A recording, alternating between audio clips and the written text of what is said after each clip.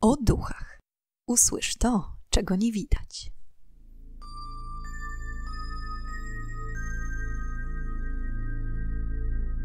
Witam i pytam, czego dusza pragnie. Strasznie miło mi gościć Was na moim kanale. W dzisiejszym odcinku przybliżę Wam temat bardzo nieprzyjemnego doświadczenia, jakim jest paraliż senny.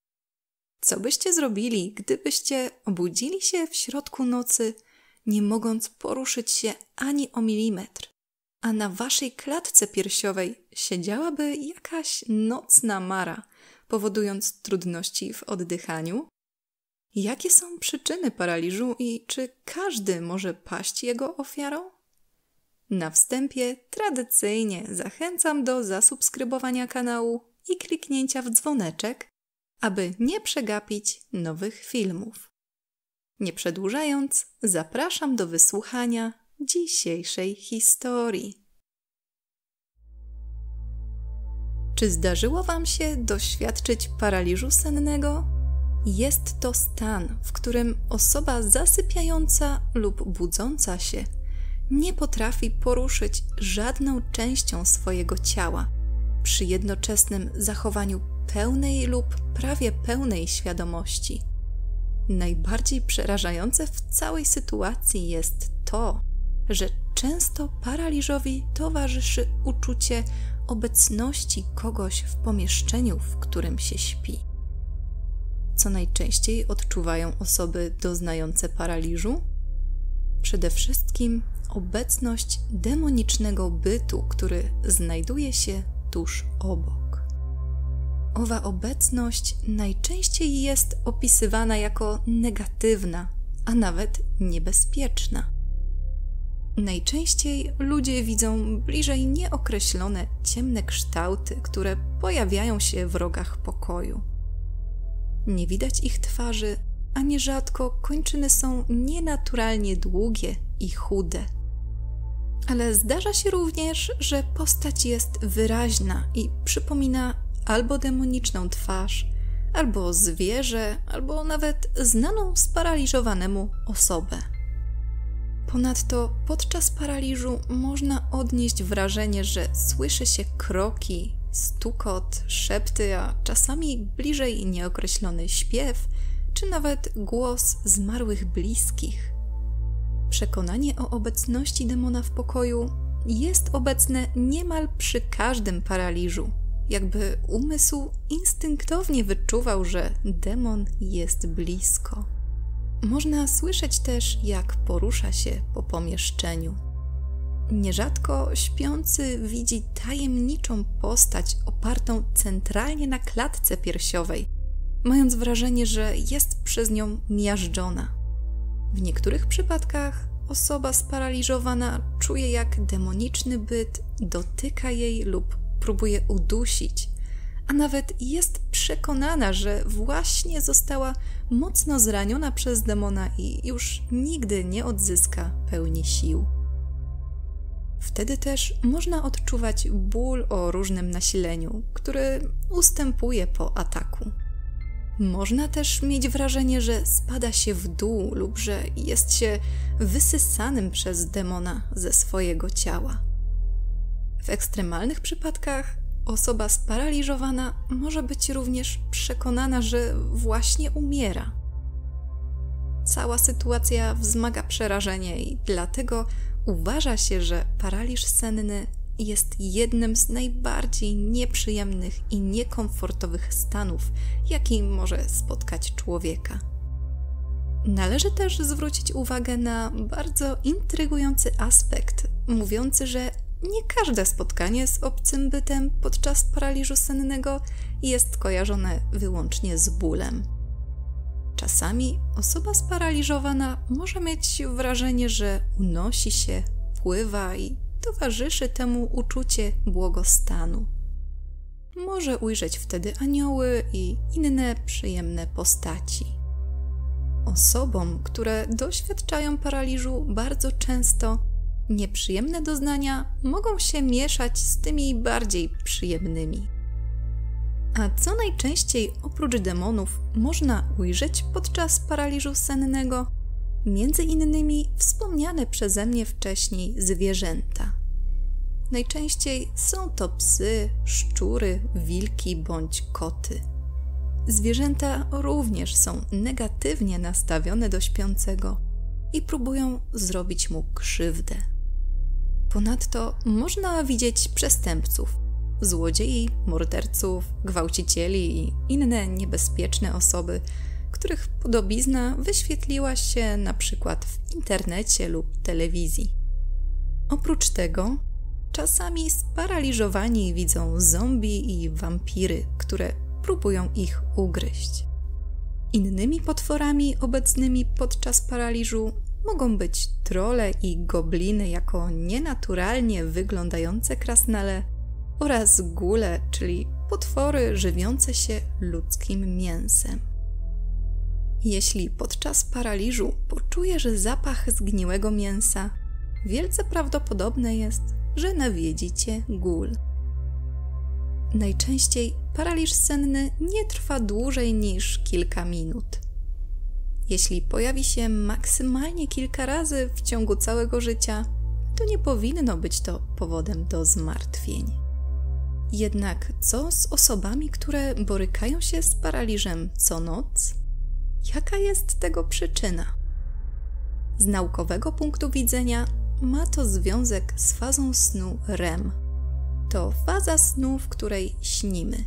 Mięśnie w tej fazie są rozluźnione i odcięte od możliwości poruszania, żeby śniąc nie zrobić sobie krzywdy, machając rękami i nogami. Gałki oczne poruszają się szybko, ciśnienie krwi i tętno wzrastają, a oddech przyspiesza. Kiedy sen w fazie REM zostanie zaburzony w wyniku różnych przyczyn, może dojść do sytuacji, w której człowiek obudzi się, jednocześnie nie wybudzając się całkowicie z fazy REM. Przez to, gdy po kilku sekundach śpiący zorientuje się, że całe jego ciało jest sparaliżowane, zaczyna w nim wzrastać panika. To w połączeniu ze zdolnościami fazy REM do wytwarzania snów może sprawić, że nasz mózg zacznie mieć omamy wzrokowo-słuchowe. A im bardziej się boimy, tym gorsze obrazy i dźwięki mogą nam się ukazać.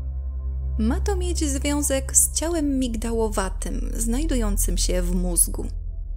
Jest to część odpowiedzialna za odczuwanie silnych emocji, takich jak stres i lęk. Podczas paraliżu sennego ciało migdałowate jest aktywne i może wzmagać halucynacje. Na paraliż narażone są osoby, które borykają się na przykład z problemami ze snem, między innymi z bezdechem sennym, zespołem niespokojnych nóg czy też koszmarami sennymi. Ale ponadto mogą go doznać osoby z zespołem stresu pourazowego lub osoby aktualnie przeżywające dużą dawkę stresu. Z bardziej poważnych schorzeń może to być na przykład choroba afektywna dwubiegunowa bądź inne choroby o podłożu psychicznym. Ale również genetyka może mieć wpływ na pojawienie się paraliżu sennego. Jeśli ktoś z rodziny kiedyś go doświadczył, tobie również może się przydarzyć. Takie jest wytłumaczenie naukowe paraliżu sennego. Warto jednak wziąć też pod uwagę duchowy aspekt tego nieprzyjemnego zjawiska. W wielu wierzeniach mówi się, że paraliż i nawiedzenie przez ciemny byt są równoznaczne z obecnością prawdziwego demona, a nie tylko halucynacjami. I gdyby się nad tym zastanowić, to czemu podczas paraliżu często odczuwa się niepokój, a postaci widziane podczas niego są straszne? Przecież każdy wolałby zobaczyć coś przyjemnego bądź kogoś zaprzyjaźnionego. Może ten ośrodek w mózgu wyczuwa niebezpieczeństwo czające się tuż obok i dlatego ludzie tak boją się, gdy paraliż ich dopada? Ponadto samo wybudzenie się nie powoduje lęku, to owa obecność go stwarza. Zwłaszcza, że osoby doznające paraliżu często relacjonują swoje wybudzenie ze snu jako spowodowane jakimś dźwiękiem bądź czyimś dotykiem. Więc jak to jest z tym koszmarem na jawie? Paraliżu sennego może doświadczyć każdy z nas. Jeśli jednak wierzyć temu, że widziane postaci nie są jedynie wytworem ludzkiej wyobraźni, należy wiedzieć, że zdecydowanie bardziej narażone na paraliż i kontakt z demonami są osoby igrające z siłami zła. Na co dzień demonom nie tak łatwo jest zawładnąć człowiekiem, ponieważ, jak już wiemy, chociażby z odcinka na rozkaz diabła, aby złe siły przejęły nad nami kontrolę, musimy je najpierw w pewien sposób zachęcić lub wprost zaprosić do swojego życia. Najczęstszym i najprostszym sposobem na wkradnięcie się demonów do codziennego życia człowieka jest przeprowadzanie rytuałów na cześć złych mocy i bezpośrednie ich przywoływanie. Oprócz tego wymienia się również seanse spirytystyczne, których celem, jak wiadomo, jest kontakt ze światem zmarłych. Gdy taki seans nie przebiegnie do końca pomyślnie, siły zła mogą to wykorzystać. Na przykład omawiana przeze mnie kilka odcinków wcześniej tablica Wia. Jej zadaniem, pomijając pierwotne przeznaczenie, jest właśnie kontakt ze zmarłymi. Demony często używają podstępu, aby wkraść się w czyjeś życie. Tak może być właśnie podczas seansu spirytystycznego z wykorzystaniem Wia. Demon może podszywać się pod ducha wywoływanej osoby i tym samym zacząć proces opętania. Innymi praktykami, o których mówi się, że mogą przyczynić się do obecności demona podczas paraliżu sennego, to między innymi wróżenie z kart tarota, praktykowanie czarnej magii czy też postrzeganie pozazmysłowe, które z kolei można podzielić na jasnowidzenie, które pozwala dowiedzieć się, co dzieje się mniej więcej aktualnie w różnych miejscach na świecie, prekognicję, czyli przewidywanie przyszłości, oraz retrokognicję, oznaczającą umiejętność wyjrzenia w przeszłość, o której nie można dowiedzieć się z żadnych innych źródeł wiedzy. Ponadto do postrzegania pozazmysłowego zalicza się również telepatię i widzenie czyjejś aury. Mówi się, że osoby doświadczające paraliżu sennego mają predyspozycję do ćwiczenia i praktykowania OBE, czyli podróży astralnej, zwanej inaczej wyjściem z ciała. Nieraz podczas samego paraliżu człowiek może mieć wrażenie, że widzi siebie stojąc obok łóżka i obserwuje atakującego jego ciało demona. Niejednokrotnie też zdarzało się, że osoby po przebyciu paraliżu sennego opowiadały, jakoby miało być rzekomo porwane przez UFO. Kto wie, może jest to tak dziwny stan, w którym mieszają się przeróżne wymiary? Ponadto podczas paraliżu można doskonalić świadomy sen, dzięki któremu kreujemy ich przebieg. Paraliż senny dotyka około 8% populacji, więc nie jest to bardzo popularne zjawisko. Oprócz wymienionych przeze mnie na początku przyczyn naukowych, biorąc pod uwagę aspekt duchowy, na paraliż zapadają najczęściej osoby głęboko związane z okultyzmem. Jak wyjść z paraliżu? Najczęściej zaleca się w miarę możliwości zachować spokój, choć w praktyce to wcale nie jest takie proste, jak się wydaje. Następnie należy skupić się na palcach rąk i nóg i próbować nimi poruszać. Po chwili paraliż powinien odpuścić. ja osobiście kilka razy w życiu doznałam paraliżu sennego i śmiało mogę potwierdzić, że jest to bardzo nieprzyjemny stan. Zdarzyło mi się to może ze cztery razy. Podczas paraliżu za każdym razem miałam wrażenie, że spadam w dół i jakby coś przygniatało moją klatkę piersiową. Ja jednak na szczęście nie widziałam żadnej postaci w momencie paraliżu.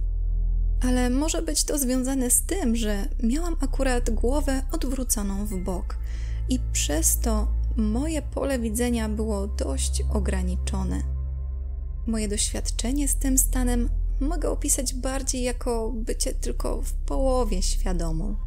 Miałam wrażenie, że powieki mam tak ciężkie, że nie umiałam ich do końca otworzyć i non-stop same się zamykały, choć usilnie chciałam pozostawić je otwarte.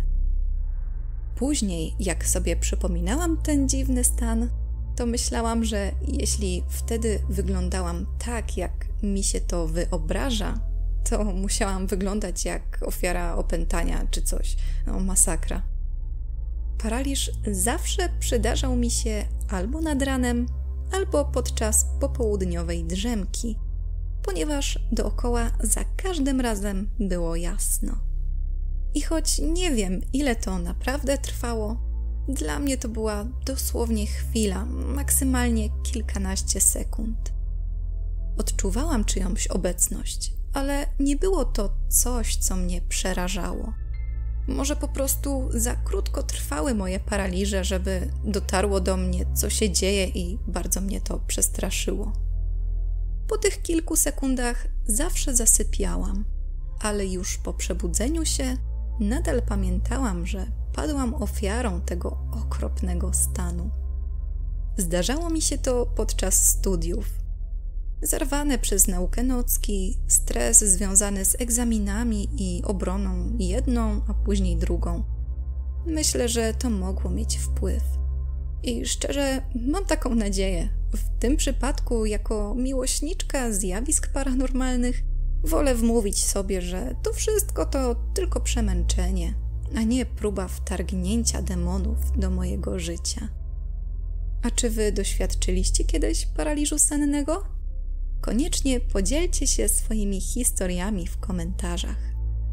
A już teraz zapraszam Was na kolejny odcinek podcastu o duchach, w którym ponownie zadamy pytanie, czego tym razem dusza zapragnie. Do usłyszenia